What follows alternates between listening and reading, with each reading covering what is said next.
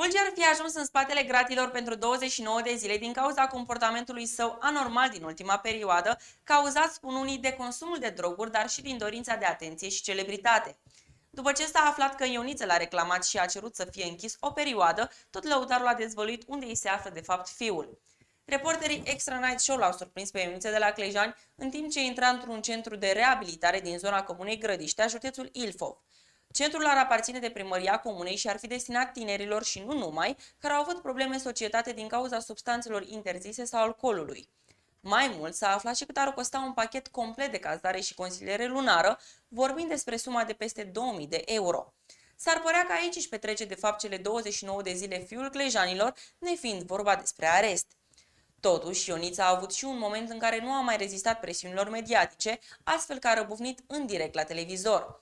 Tatălui Fulgi s-a săturat ca toată lumea să-i blameze copilul pentru comportamentul datorat consumului excesiv de droguri, astfel că a explicat cum stă cu adevărat situația în țară. Duceți-vă în cluburi și la festivalul mari să vedeți ce se întâmplă. Tineri care sunt nenorociți din aceste cauze. Nu mai veniți la mine la poartă, că la mine e bine. O să mă ocup de copiii mei, o să-i fac bine cu orice preț. Nu e problemă. E băiatul meu, a greșit, ce a făcut? Îi dau un cap? Nu e niciun sfânt pe lume. Televiziunile, presa, salvați tinerii că eu nu am ce să facă un tată. Ce să fac? Muncesc, fac tot ce îmi stă în putință și îmi respect statutul meu de om.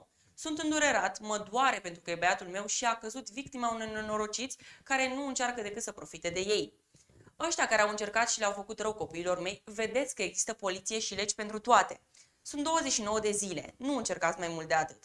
29 de zile este la arest, a declarat Ioniță de la Clejan în cadrul unei emisiuni TV.